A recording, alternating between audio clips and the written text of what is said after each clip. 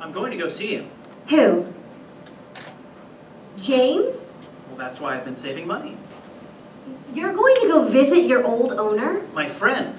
Uh, He was supposed to come pick me up, but he must have lost the address. I'm saving up to take the bus out to Jeju to see him. Are you sure he won't be surprised?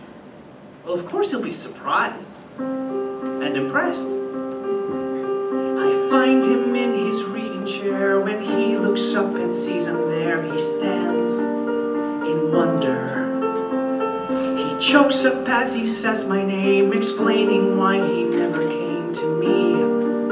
I hug him. I tell him I've been busy too, so everything's okay.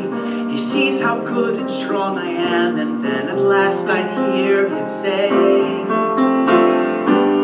Go put the tea on Oliver. It's you and me now, Oliver, finally. Just like it was long ago. And then some music, Oliver. I'll let you choose it, Oliver, gladly. But first I want you to know this is where you belong.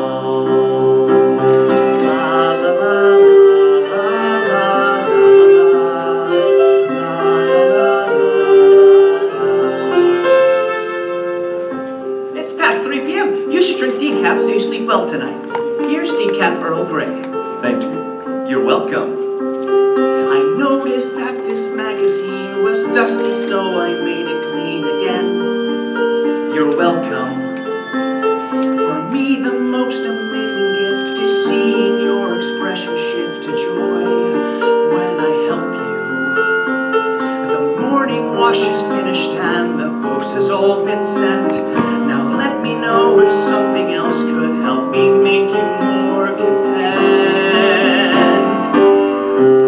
much I owe you, Oliver. I need you so much, Oliver, thank you.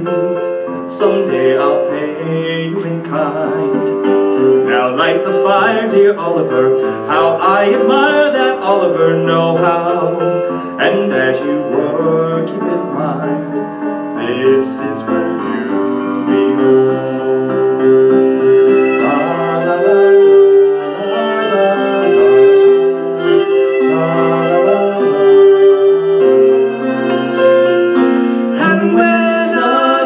was a pastor.